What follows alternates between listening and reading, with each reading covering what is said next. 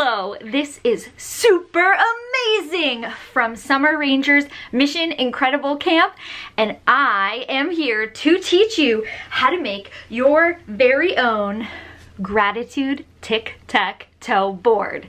So all of the materials that you'll need are listed here.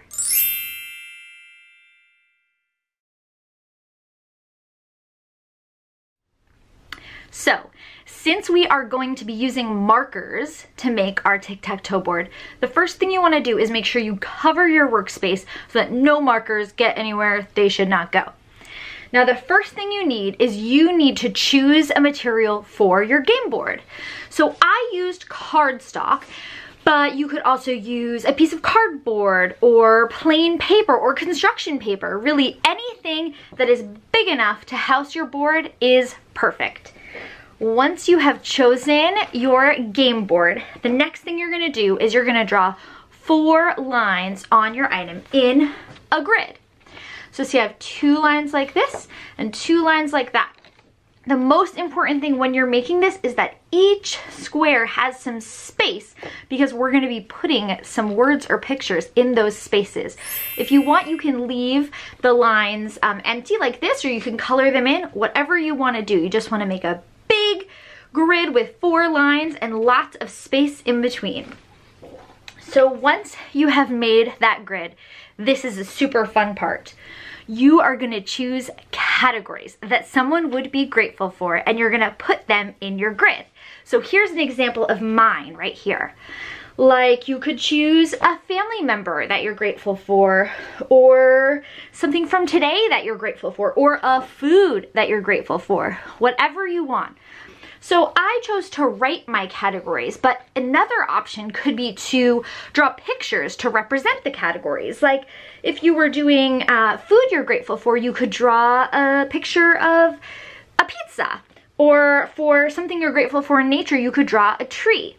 All that matters is that people playing understand what categories you're gonna pick.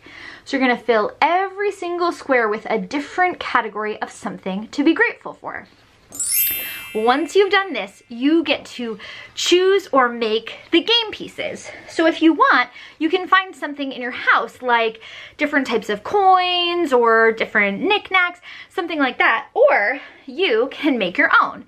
So you need two different shapes. So for example, the classic X's and O's is an option, or you could choose totally different shapes like a star or a heart. The most important thing is that you choose two different shapes and that there are five of each piece. So five hearts, five stars, or five of whatever category you pick. Once you've done that, you are ready to play. And playing is so easy. It's just like regular tic-tac-toe. So if I was gonna play with my game board, I would sit down with someone, I'd put the game board down, and say I wanted to choose the center square. So I would put my piece on the center square and I would follow the directions, which say name something that makes you happy. Well, something that makes me happy is Planet Rangers Summer Rangers Mission Incredible Camp. Woo! Yes, yes, yes, yes, yeah!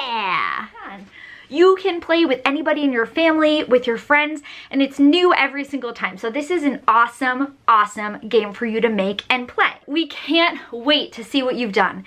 If you make this game, send us a picture so we can post it on our Pinterest board. For more incredible games and activities, please come join us at Summer Rangers in July. Visit planetrangers.org for this year's dates and details. See you there!